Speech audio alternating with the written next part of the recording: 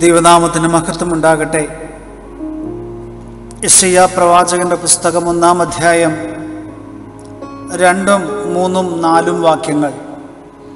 ആകാശമേ കേൾക്ക ഭൂമിയെ ചെവി തരിക യഹോവ അരുളി ചെയ്യുന്നു.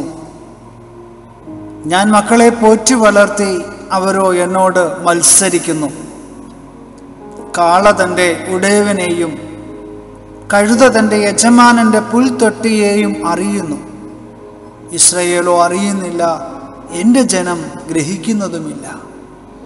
അയ്യോ പാപമുള്ള ജാതി അകൃത്യഭാരം ചുമക്കുന്ന ജനം ദുഷ്പ്രവൃത്തിക്കാരുടെ സന്തതി വഷളായി നടക്കുന്ന മക്കൾ അവരെ ഹോവയെ ഉപേക്ഷിച്ച് ഇസ്രായേലിന്റെ പരിശുദ്ധനെ നിരസിച്ച് പുറകോട്ട് മാറിക്കളഞ്ഞിരിക്കുന്നു.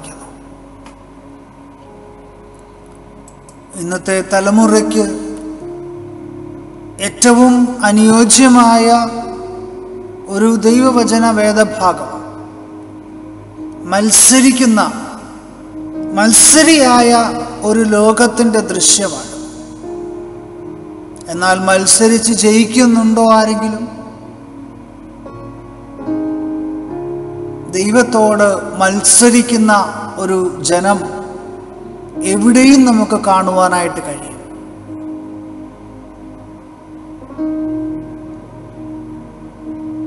ഇവിടെ പ്രവാചകൻ അരുളി ചെയ്യുകയാണ്. ആകാശമേ കേൾക്ക ഭൂമിയെ ചെവി തരിക. ഞാൻ മക്കളെ പോറ്റി വളർത്തി അവരോ എന്നോട് മത്സരിക്കുന്നു.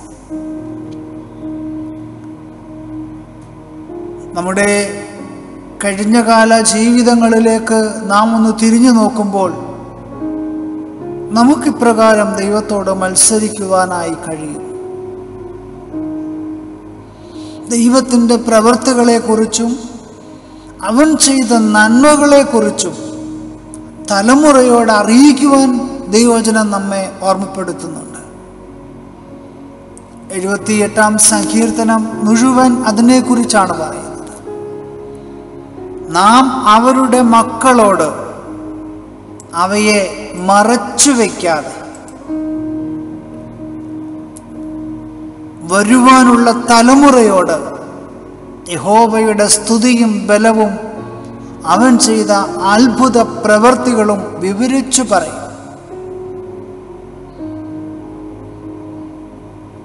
അവിടെ വ്യക്തമായിട്ട് പറയുന്നുണ്ട് ഏഴാം വാക്യം അവർ തങ്ങളുടെ ആശ്രയം ദൈവത്തിൽ വയ്ക്കുകയും ദൈവത്തിന്റെ പ്രവൃത്തികളെ മറന്നുകളയാതെ അവന്റെ കൽപ്പനകളെ പ്രമാണിച്ചു നടക്കുകയും തങ്ങളുടെ പിതാക്കന്മാരെ പോലെ ശാഠ്യവും മത്സരവുമുള്ള തലമുറയായി ഹൃദയത്തെ സ്ഥിരമാക്കാതെ ദൈവത്തോട് അവിശ്വസ്ത മനസ്സുള്ള ഒരു തലമുറയായി തീരാതിരിക്കുകയും ചെയ്യേണ്ടതിന് തന്നെ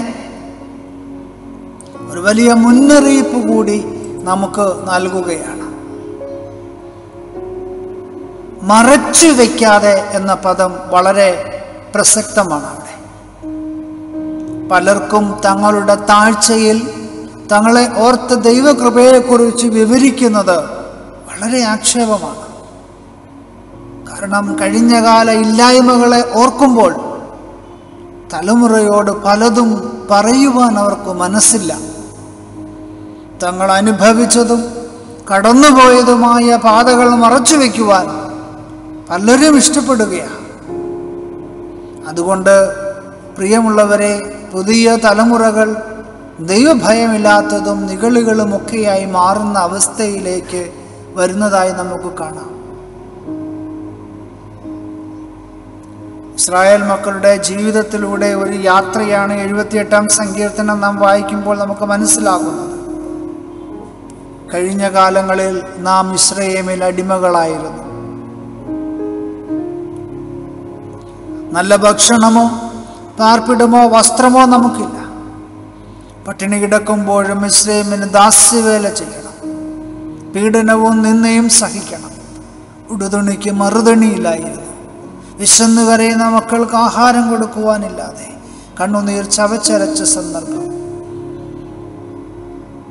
ഫറവോന്റെ ഇഷ്ടിക ചൂളയിൽ പണിയെടുക്കുവാൻ പോകുന്ന കാലം.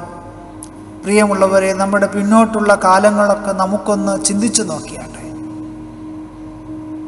ഇന്ന് നിങ്ങൾ അനുഭവിക്കുന്ന അല്ലെങ്കിൽ നമ്മൾ അനുഭവിക്കുന്ന സർവ നന്മകളുടെയും സുഭിക്ഷതയുടെയും സമൃദ്ധിയുടെയും കാരണക്കാരൻ തീർച്ചയായിട്ടും ദൈവമാണ്.